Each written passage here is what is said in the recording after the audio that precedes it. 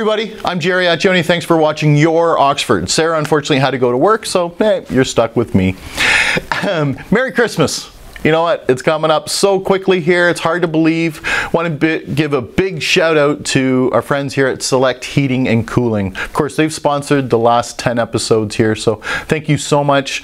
It's businesses like them that are helping other community events and everything. And of course, we have them on here on the show and uh, help promote them.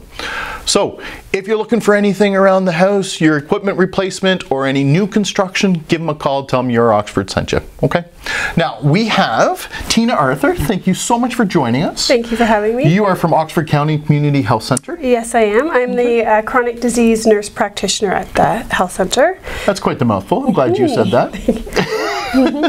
so you, there's a lot of different programs, and I didn't That's realize right. how much actually is going on there until you brought a calendar. Yes, this is our uh, 2018 calendar. Mm-hmm. Our 2019 is currently available at the Community Health Center. Yeah, We'd by like the time to this goes up. to air, yeah. Mhm. And um, it just outlines all the uh, different programs that are available to members of the community. Um, there's ones from physiotherapy, um, osteoporosis. Our dietitian puts on a lot of different um, uh, cooking classes Mm-hmm. for individuals. She's a fantastic cook, so I highly recommend that It's class. nice kitchen in there too. Yes, it's yeah. beautiful. Yeah, I've been in there a few times. And I myself um, are starting a couple new programs uh, this year, Okay. uh, mainly around diabetes and uh, COPD. Okay.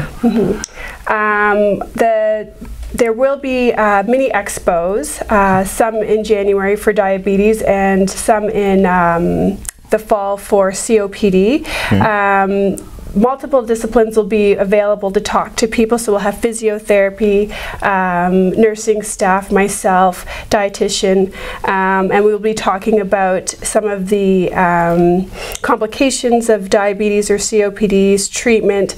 Um, this is a bit different than what we have been doing. People Okay. have been coming in um, and sitting more in a classroom type, and I've decided to make this a little bit more informal, and people can go to the different booths and discuss. Um, Whatever their yeah, needs are. Yeah, Yeah. based on uh, yeah their knowledge gap and yeah. Of course, all those dates are going to be in the new calendar. Yes, they will. Yeah. So where do they pick up the calendar?